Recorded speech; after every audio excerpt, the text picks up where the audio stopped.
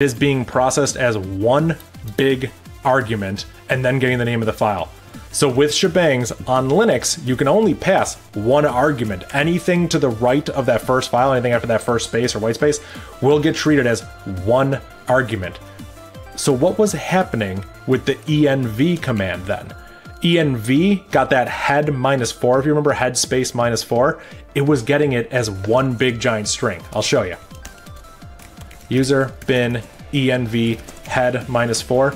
This was getting passed as one big file name. Anything we put here would have been part of that file name. That's not good, but env has a special flag, that minus s flag. So, uh, where is it? Here it is. Minus s, split string. Process and split s into separate arguments used to pass multiple arguments on shebang lines. There you go. The env command is what did this.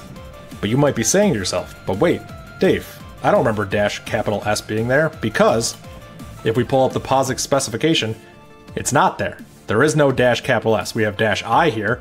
We don't have dash S. That is not a POSIX flag. That doesn't mean the Linux version is wrong, it just means it has functionality that is not defined here. So dash S is not portable. You might not find that on other operating systems. It seems to be, uh, I, have tested it myself, it seems to be on some operating systems, not others, but this is part of the GNU core utils. In fact, we can pull it up right here.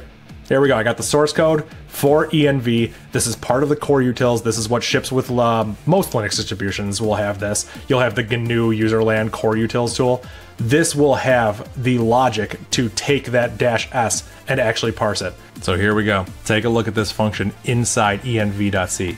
We have parse split string process a dash s string and create the corresponding argv array, update the given argc argv parameters with the new argv. What this means is if you call env like this, notice that it's dash capital S, and then you can just have stuff inside one big string, or maybe you have some extraneous arguments.